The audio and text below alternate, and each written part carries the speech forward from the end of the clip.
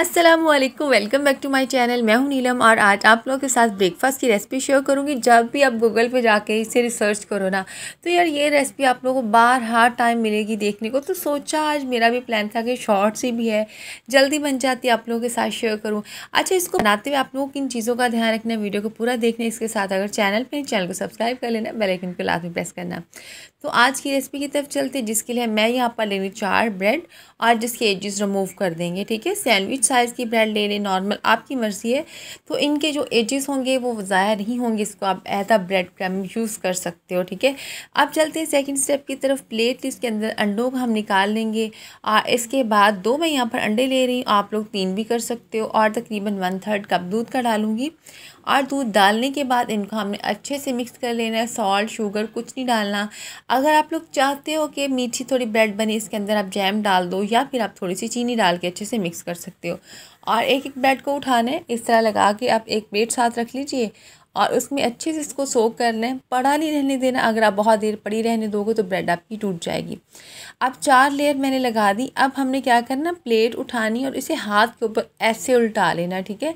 और अब हमने कुछ इस तरह से इसको रखना है ध्यान से, ताकि ऑयल ना गिरे।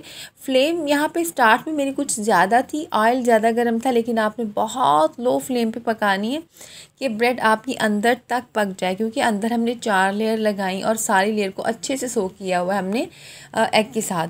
तो आपने बहुत लो फ्लेम पे इसको पकाना है और इसी तरह आपने तकरीबन अगर मैं बात करूँ तो एक साइड को पाँच मिनट आपने बहुत लो पे लो फ्लेम पे पकाना है और अगर फ्लेम आपकी हाई होगी तो क्या होगा? कलर इसका डार्क हो जाएगा। आपने इतनी लो फ्लेम पे बनाना है कि कलर कुछ इस फॉर्म में आ जाए। और अगर टाइम की हम बात करें, तकरीबन छः से सात मिनट मैंने एक साइड पकाई थी क्योंकि हमने चार लेयर इसमें ब्रेड की रखी हैं और सारी ब्रेड को हमने अच्छे से सोख किया एग के साथ और कहीं से भी अगर एग जो है वो कच्चा रह जाता है तो ब्रेड को वो मैसी करेगा, अंडे की स्पेसिफिक स्मेल होती है, वो आपको आएगी तो फिर आपका दिल नहीं करेगा खाने को।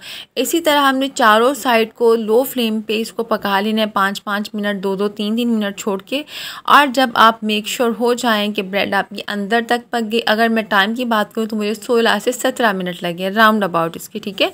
और इसके बाद अगर आप प्लेट में आपने टिशू बिछाना है टिशू बिछा लीजिए, जैसे आपने सर्व करना है वैसे आप कर लें।